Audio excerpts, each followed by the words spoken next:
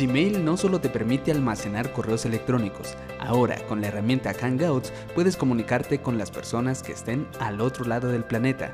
Es sencillo y fácil de usar. Primero necesitas crear una cuenta de Gmail, así que hoy vamos a aprender cómo hacerlo. Dirígete hacia tu navegador de internet predeterminado, en este caso vamos a usar Google Chrome. Una vez ahí, esperamos a que nos cargue la página web vamos a dirigirnos a www.google.com. Una vez aquí, puedes ingresar al buscador predeterminado de Google. Puedes acceder desde este apartado que dice Gmail o puedes escribirlo directamente aquí. Buscas Gmail y mira que te salen bastantes opciones. En este caso, como queremos abrir un correo electrónico, vamos a ingresar a este que dice Gmail, correo electrónico y almacenamiento gratuito de Google. Damos clic aquí. Te aparecerá esta pantalla. Ahora, si la exploras, te das cuenta que en la parte superior dice crear una cuenta. Vamos a darle crear una nueva cuenta. Te solicitará rellenar estos eh, nombres, estos espacios y vamos a ingresar los nombres. Para este caso, vamos a hacer Pepe de apellido Puertas.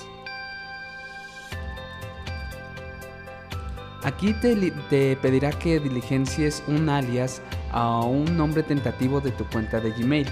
En este caso vamos a ponerle Pepe Puertas 123.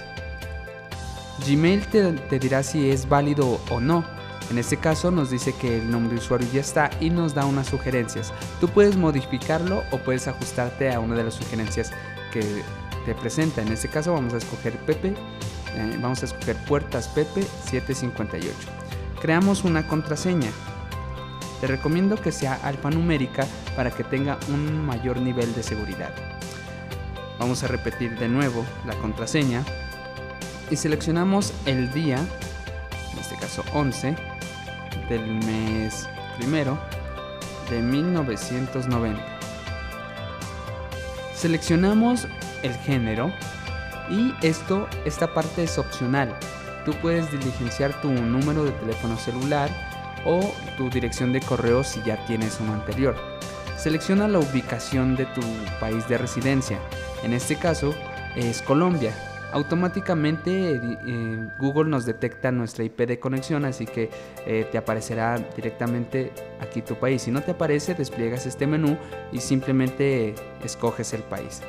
En este caso ya está, tenemos todos estos datos y le damos en siguiente paso. Te aparecerán las condiciones y privacidad, términos de uso del correo que vas a abrir. Simplemente te desplazas hacia abajo con esta barra lateral hasta que se te habilite esta casilla de acepto. Le damos clic ahí.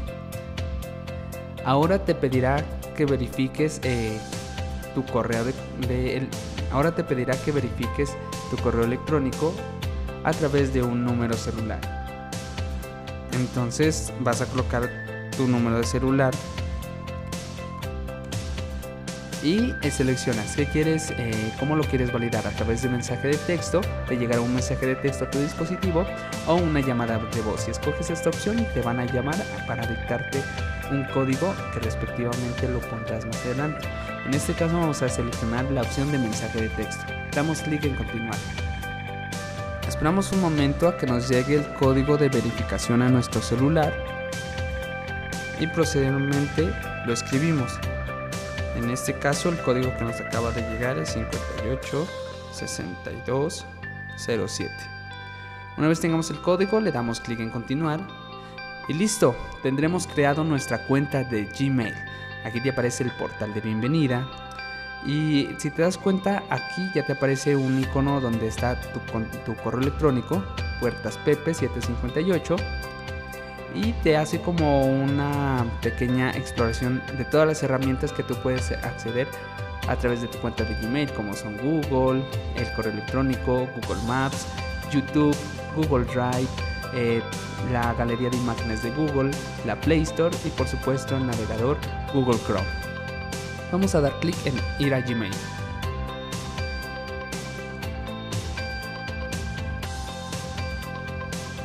Aquí nos aparece que está cargando nuestro correo electrónico y lo primero que nos da Gmail es la bienvenida con una especie de instructivo que te dará como los primeros tips y consejos para que tú aprendas a usar tu cuenta de Gmail. Personalizarlo y también disfrutarlo en cualquier dispositivo vinculando las cuentas. Si tú tienes un smartphone, una tablet, puedes también acceder a Gmail desde estos dispositivos. Y bueno, una vez que ya tengas todo esto, simplemente le das a la X y ahora puedes enviar correos desde el apartado de, redactar y también recibirlos en tu bandeja de entrada. Una vez nos encontremos en nuestra bandeja de entrada de Gmail, podremos acceder a Hangouts, herramienta que te permitirá contactarte con tus amigos o familiares a través de videollamadas. Para eso vamos a desplegar el icono superior derecho, donde nos indicarán todas las herramientas que tiene Google para nosotros. Damos clic en más y aparecerá la opción de Hangouts. Dale clic una vez más. Aparecerá una nueva ventana con una pestaña de bienvenida que te indicará para qué sirve Hangouts, para enviar mensajes de texto, hacer llamadas telefónicas o videollamadas. En este caso, vamos a hacer una videollamada. Al hacer clic en el icono de la cámara, tú empezarás a contactarte con tus queridos amigos o contactos. Si quieres invitarlos, solo tienes que agregar su correo electrónico. En este caso, vamos a agregar spericles91.gmail.com, puesto que Pepe quiere contactarse con su amigo Pericles. Una vez te aparezcan validados los correos electrónicos, dale clic en la opción Invitar. En este momento, la persona a la que estás llamando tendrá que aceptar la llamada para así establecer una conexión. Recuerda que tu cámara puede estar activa o desactivada. Cuando la persona haya aceptado tu invitación, aparecerá este icono si no posee una cámara web. Si la tiene, él podrá activarla y de esta manera podrán verse en pantalla. De esta manera, Pepe se ha contactado con su amigo Pericles. En ese momento puedes desactivar tu cámara haciendo clic con el botón cámara.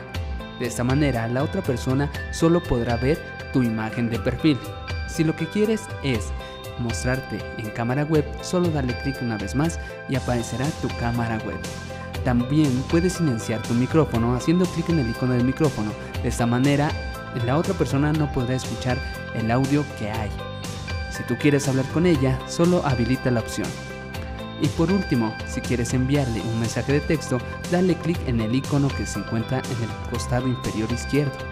De esta manera podrás enviarle mensajes de texto. Ahora, si quieres finalizar tu llamada, solo dale clic en el círculo rojo. De esta manera colgarás y habrás terminado tu videollamada.